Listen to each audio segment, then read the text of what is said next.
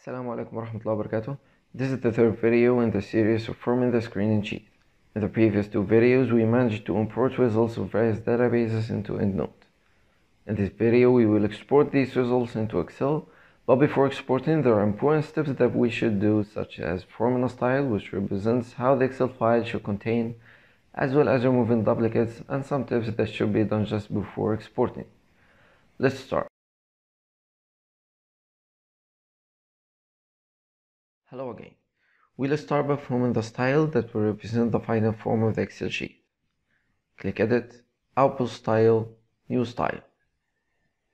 Click Bibliography, Template, then choose the journal article from reference type.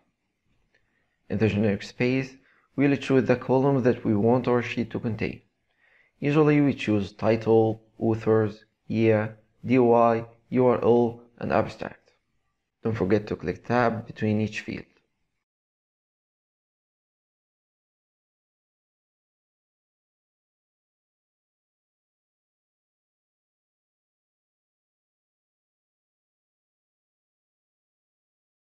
Then rename it by a name you can remember, for example, screening. Then save it. Click here and choose another style Write the name of the style you have just made and choose it.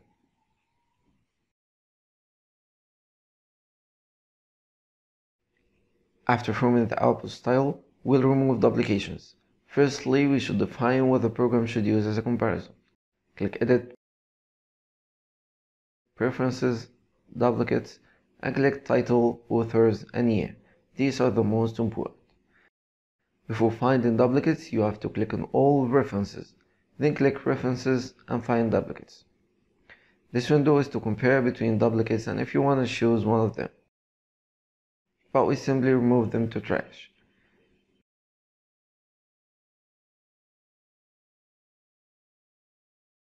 Just to check we didn't miss any duplicates.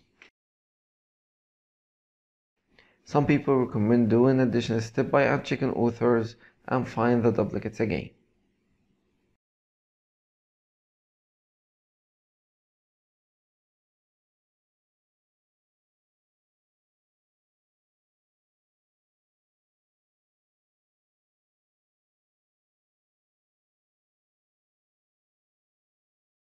Here's an important tip to help Excel in reading your file clearly. Click Edit, find and replace, then choose any field and choose this. Write semicolon and space and change.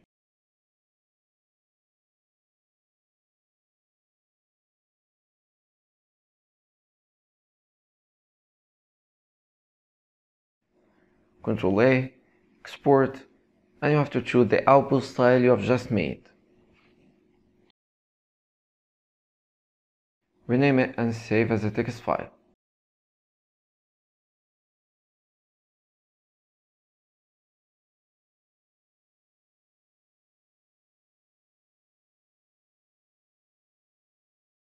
Open the Excel and all the file you have just saved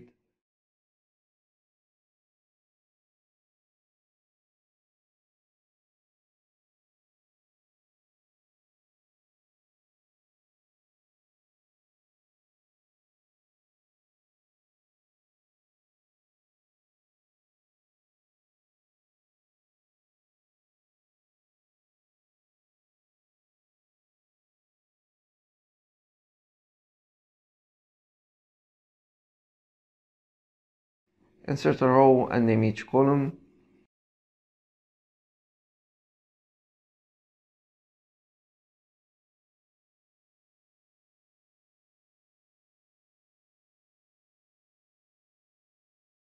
And finally, our screen sheet is ready.